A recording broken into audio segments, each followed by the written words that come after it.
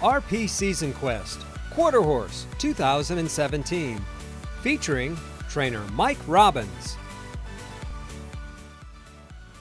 Regardless if you're a million dollar athlete, you perform back breaking labor, or you're an overworked mom, at some point, everyone needs some physical therapy. Racehorses are no different. Mike Robbins tells us how ice is nice. We do a lot of icing. We ice a lot. And uh, older horses, especially the babies before we run, every, every horse we have is broke to ice boots and ice tub.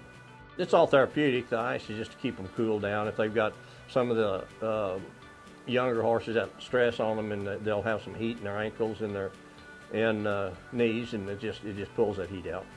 Grandma always says the best remedy is to make a poultice. Mike says so too.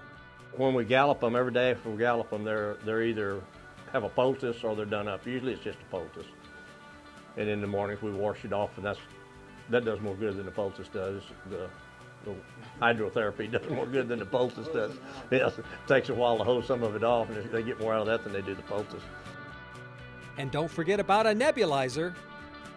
I really like using a nebulizer for these horses have got a little pharyngitis and things like that going on. We've got a mixture that the veterinarians mix up for us, and we nebulize them. We'll start 10 days out before they run, and start on the nebulizer, the young horses. And if we've got one that's coughing a little bit, we'll run. We'll we'll put them on it.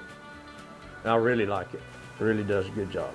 In an upcoming episode of Season Quest, we'll tell you what's in a groom kit. And yes, that is a can of WD 40. Watch more Season Quest on Twitter at Remington Park and hashtag RP Season Quest.